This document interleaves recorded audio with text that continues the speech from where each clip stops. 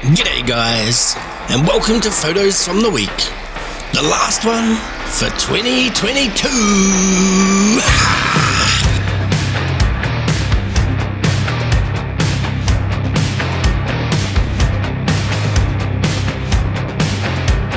yeah, let's get into it. Wow, 2022. It kind of dragged, but it flew by in a minute.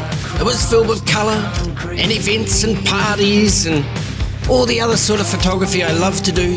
Getting out there with the drone, capturing colour, capturing scenes.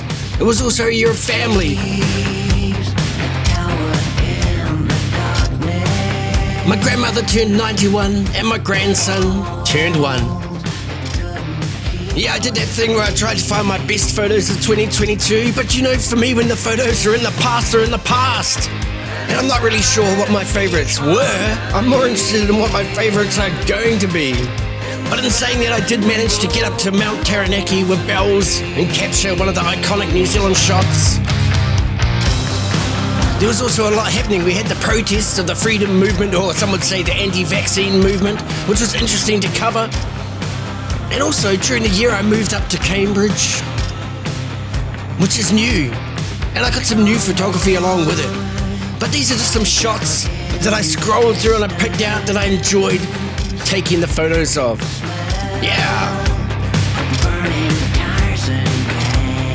Hey, I want to thank you for watching Photos from the Week, for all your support on YouTube. And one of the things that makes it really worthwhile are comments like this. Like, you know, it's really, really motivating. It gives purpose to what I'm doing on YouTube. So thanks to everybody who watched and have a happy new year.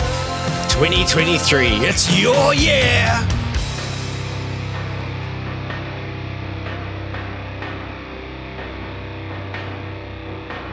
Yeah, I hope you had an awesome Christmas day. Uh, for us, we travelled from Cambridge over to Tauranga to catch up with some of Bell's family, and it was an awesome spot, a meaningful spot. And it's weird how we all do different things on Christmas Day, but we intersect in the same place at the same time. Anyway, the traffic didn't define the day. It was just a lovely, peaceful day with some awesome food. The lunch was great. There was turkey and ham and all the trimmings, tomato jelly and raspberry jelly, and ragdoll cats. I mean, really, does it get any better than that? If you ask Bells, that's a no. And speaking of cats, Rossi not to be outdone. She loves the action, but she's not allowed to go for the birds. And this one's for you, Chris. I know you're going to appreciate this. Look at this guy. And even though he's so huge, he looks so cute.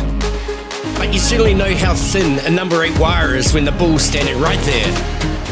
And have you heard of peristalsis before? Peristalsis. Look at the other side of the snail, it's quite entrancing. Don't you think? And we also went for a hike. You can see the video up here in the canopy. There's a place called Kakepuku Maunga. It's situated in Te Awamutu. And it's quite a hike. But there's nothing like standing on top of a mountain and seeing what you can see. When actually it was quite hard to see much because of all the bush. But a beautiful spot nonetheless. And the bush was there first. Hey, once again, I want to say thank you so much for watching photos from the week during the year. It's so great to have your support, and it just gets me up making them every single week. I really, really appreciate you guys. So, from Bells and I, have a happy new year. Bye.